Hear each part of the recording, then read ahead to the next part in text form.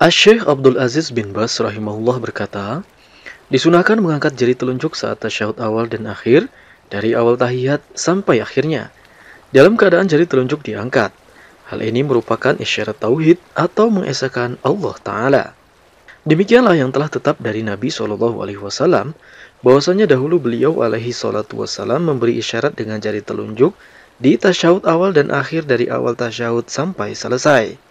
Begitu pula fatwa Syekh Abdul Aziz bin Bas rahimahullah yang lainnya, dahulu Nabi Shallallahu alaihi wasallam memberi isyarat dengan jari telunjuk sejak duduk tasyahud.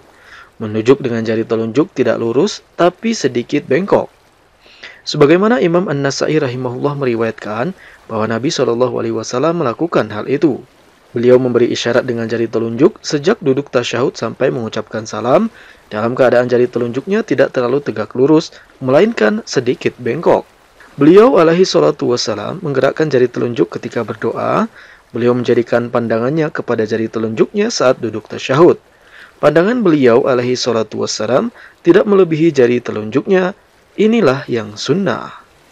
Wallahu a'lam. Barakallahu fiik.